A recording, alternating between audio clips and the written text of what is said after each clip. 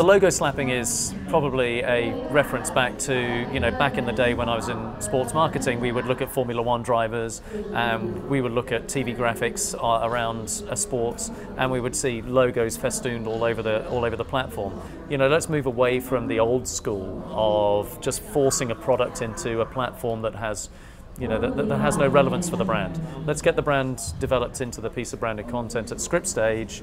Let's get that brand story told through the script. Let's get the characters to personify that brand. Let's talk about the backstories and social media that connect to that central piece of content, etc., etc., etc. So we're just trying to raise the bar generally with branded entertainment.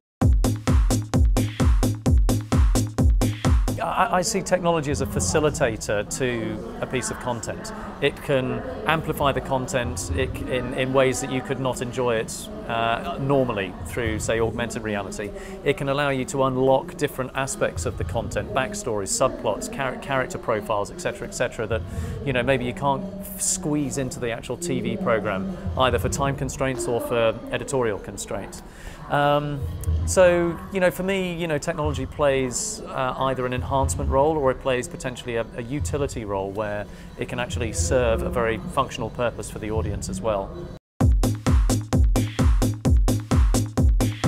I just love the fact that Spikes has started to recognise branded entertainment as a, as, a, as a modern communications discipline and telling a brand story in a either humorous, dramatic way, whichever. Um, it's growing exponentially fast. The amount of investment into the space is growing 122% over the last three years, 13% last year, way above what everything else, all the other spend in sports sponsorship and celebrity endorsement and everything else. So it, it's growing like wildfire in Asia. Uh, so it's critical that that is recognised as a as one awards category.